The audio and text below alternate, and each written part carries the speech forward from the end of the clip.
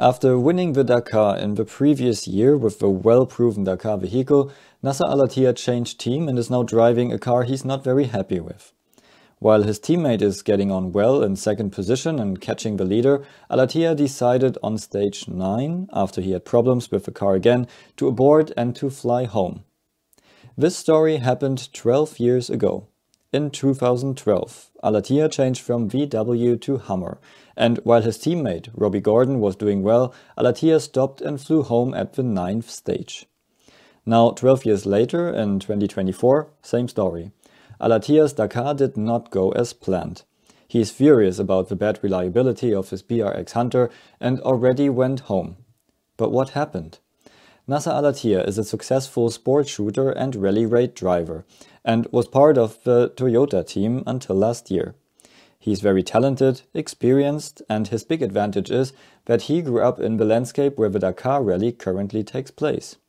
So he can read the sand and dunes like no one else. Due to temperature, wind, and sometimes rain, the dunes are changing, and Al-Attiyah can already tell just by the color of the dunes how to tackle them and which shape they will have on the other side.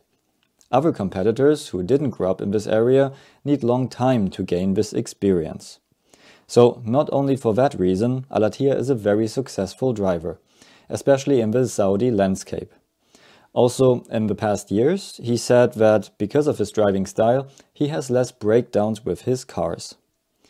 Now, for this year, he was joining ProDrive with their BRX Hunter in a three-year contract. 2024 is supposed to be the learning year before Dacia comes in and it turns into a factory team. Basically, relabeling the BRX Hunter. So Al-Attiyah was winning the last two Dakar rallies without any major technical issues. He was driving the well-proven and very popular Toyota Hilux. The South African design car is easy to drive, very reliable, and had a pretty soft suspension setup, which leads to less tire failures than their competitors. The BRX Hunter, on the other hand, is a different animal. Check out my video about the BRX Hunter to learn all about its special design.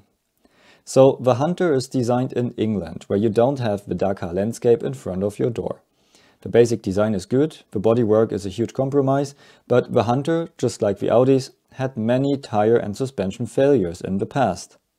So what happened at Al-Attiyah's first Dakar with the Hunter? On stage 3 he had 3 punctures, but just 2 spare wheels, so he kept on driving and damaged the rear left suspension. That was the first little dip. He didn't have these many punctures with the Toyota. The BRX Hunter has an anti-roll bar at the rear axle like a circuit race car, increasing force on the outboard wheel in a corner. The Toyota doesn't have this. On stage 6, Al-Attiyah's front left upright broke after a, as he described it, smaller impact. So he was sitting in the desert, waving to Loeb flying by and waiting for the service truck. This was when his mood changed. On stage 8, he had to stop with engine failure and couldn't get going again. Now his language changed.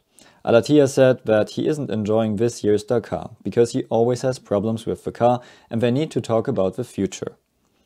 The next day, stage 9, Al-Attiyah had problems with the rear suspension again after just a few kilometers. He aborted the stage and gave a statement saying that he will not jump back into this car again, and he only came to say goodbye. He learned something for his life, and this will never happen again. After this, he was flying home. He said, if he would be someone else, it would be okay. But since he's Al-Attiyah, this is unacceptable. So what will be next for Al-Attiyah? The Dacia works car next year will probably be pretty much the BRX Hunter underneath and he ruled out to drive this car again. He has a three-year contract and what will he say if his teammate is winning the Dakar 2024 in a BRX Hunter? So could he be a driver for X-raid again? Or a Century? Or will he go back to Toyota? Hopefully he didn't burn all bridges there. What do you think? Let me know in the comments below and see you at the next video.